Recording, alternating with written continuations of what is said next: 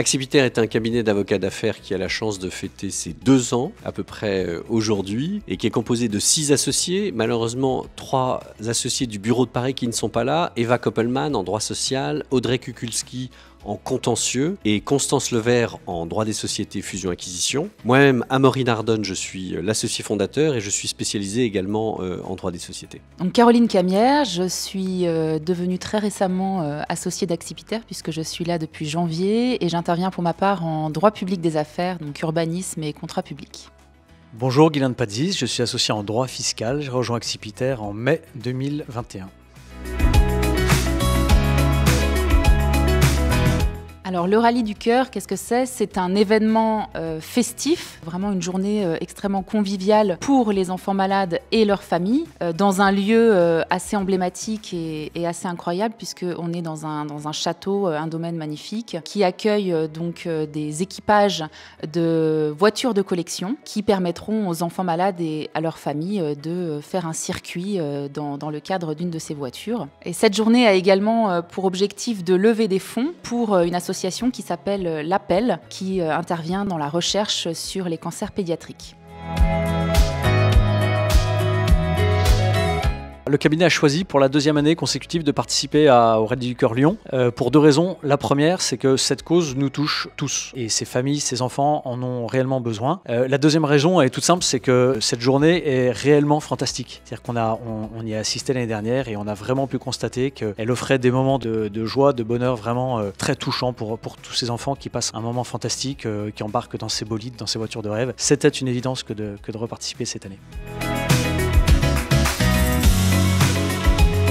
Où vont les dons récoltés? Donc c'est l'appel hein, qui euh, centralise euh, l'intégralité des fonds recueillis pendant cet événement, principalement pour la recherche contre les cancers pédiatriques, parce qu'il faut savoir que c'est un secteur de la recherche qui aujourd'hui est, très mal financé, et donc il est extrêmement important euh, que des associations comme l'appel puissent permettre de financer cette recherche pour, pour qu'un maximum d'enfants puissent, puissent être guéris de ces maladies. Par exemple, l'année dernière, les fonds ont permis de financer pour une année complète trois doctorants qui, qui euh, sur, sur la recherche pour les cancers pédiatriques. Et puis les fonds sont également utilisés pour améliorer euh, les conditions de vie euh, des enfants malades et puis de leurs familles au sein des hôpitaux, par exemple en permettant de prendre en charge les frais liés à l'hébergement des familles de ces enfants.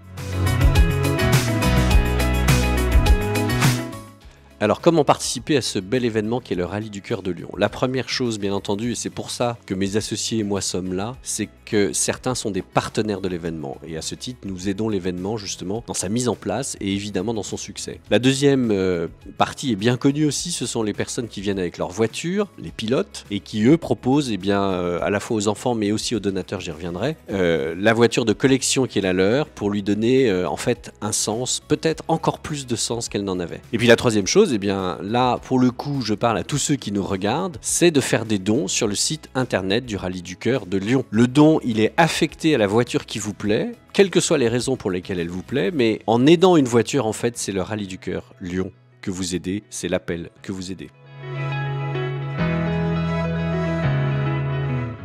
Alors la voiture de mes rêves, je ne sais pas si c'est très original, mais j'ai toujours rêvé de conduire une Lamborghini.